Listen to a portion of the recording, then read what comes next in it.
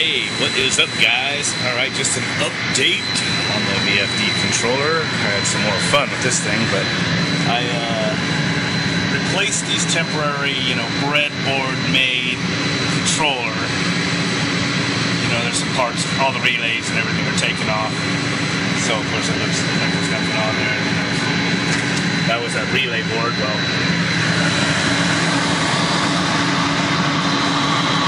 there's that one, the new one.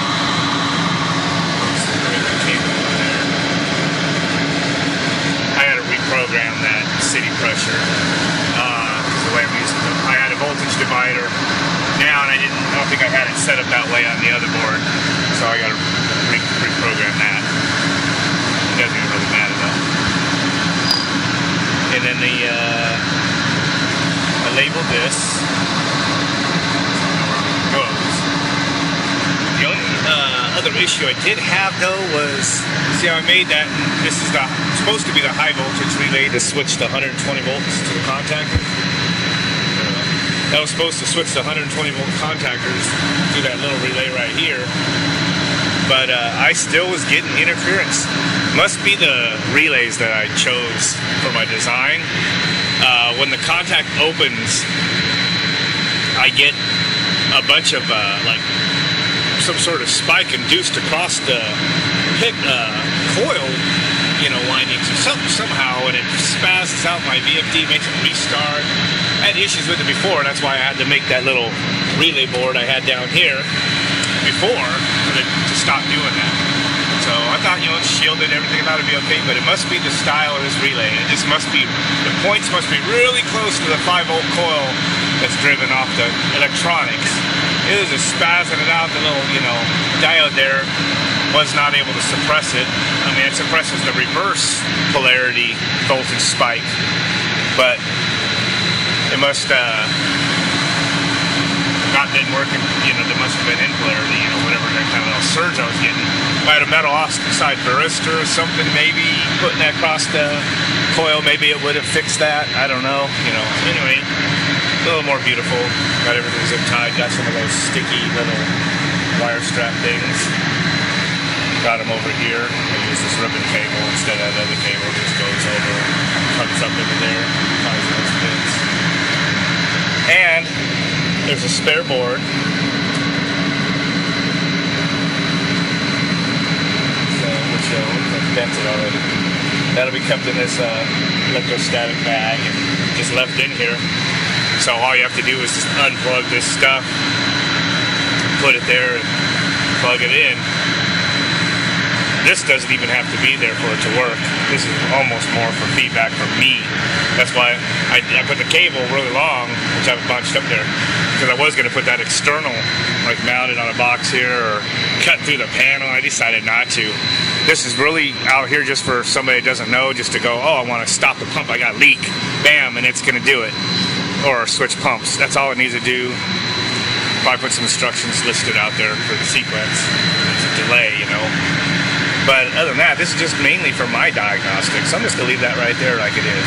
So, uh, I changed the fan setup. Somebody, bought, we ordered this fan for something else for a cooling, a cabinet space in a kitchen where someone had a little reach-in shoved, and uh, they said it was too loud. So I'm like, all right, well, I'll give you the small one from here, and I'll put this monster one in here. So also, I took that one out from there and put it on the side because I realized I'd putting the fan on top. If I ever get a leak in here, water sprays up, it'll roll right down into my VFD. I don't want that. So fans over there, away from where the water is. Water's not going to get in the VFD now. So this is all beveled, so it won't it won't run in there. So pretty much good to go. Take this out of there, put my board away, and pretty much golden other than when I get the chance I'll come maybe reprogram that so it's reading a little more literal on the readings but it works and if you turn the supply water off it still stops on low pressure alarm stops the pump like if the city water gets turned off. So we're doing good. Okay I'm trying to update the program so I can get the scale correct reading this other pressure sensor load that file. Okay. Program. Yes, so right now it's writing to the EEPROM. There.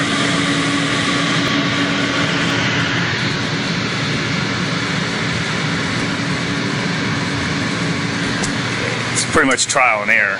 The you reuse the older transducer, and it's not zero to 10 volts. It's one to 11 volts. That's just kind of weird. I'm not gonna be able to read that last volt because my thing's it's gonna clip. But uh, yeah, it's pretty close now. 60 something. Pressure's dancing around there a little bit. Now I just gotta reprogram the low pressure cutoff to come in a little earlier.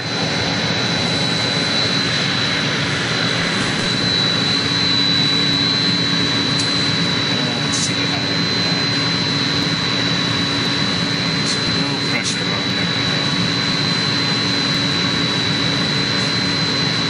Think about that. Wave 17.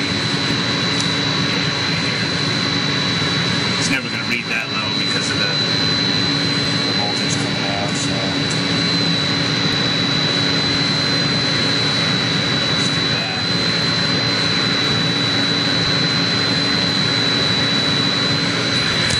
Okay, I'm going to stop the pump. Definitely VFD running when I, because it'll interrupt whatever it's doing when it's writing the program to it. Okay. Program. Go. Write that to it.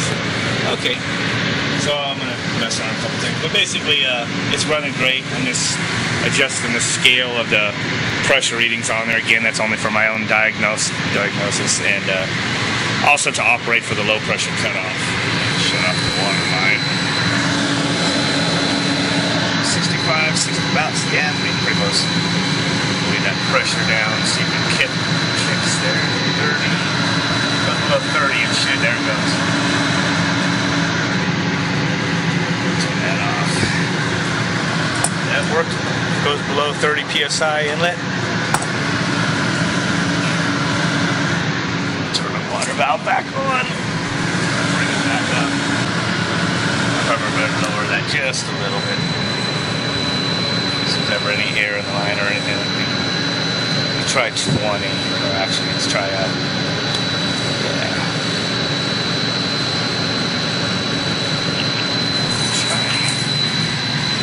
Shut pressure down again.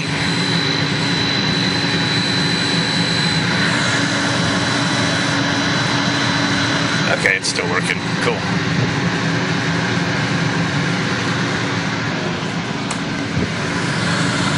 Let's kick this on back in. Sweet. Okay. They were golden.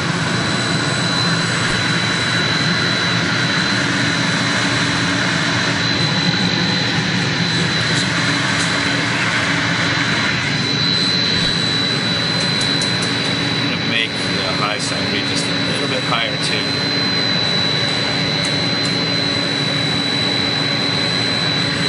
Okay, I'm gonna finish dialing that in, but pretty much uh, demonstrated why I set it up that way and how I program it.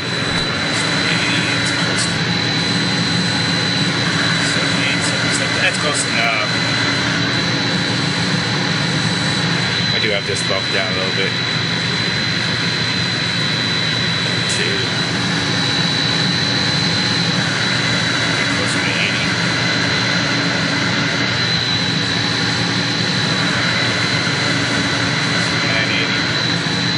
And this thought bounces up and down when people are using open and closing water. I mean, it's a big building, so the pressure is not a consistent. VFD's gonna, you know, see it's going up and down. It's going to do that. So I think it's controlling pretty good. So, all right, I think that's close enough. All right, so pretty much there you have it. It was all done, and I was just doing the last little bit of fine tuning, which was with the software there to uh, see if I can get this off of there without pulling the chip out. There we go. This little thing is twenty dollars. Focus.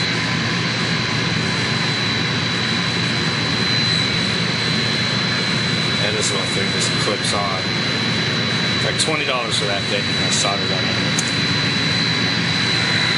Alright, so just gets pushed in there. The other one I soldered on the board. That one's in a socket. It looks pretty sweet.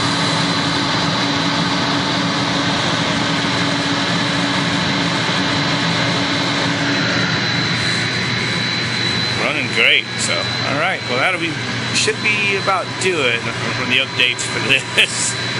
So, pretty cool little project. I like making electronic stuff like that.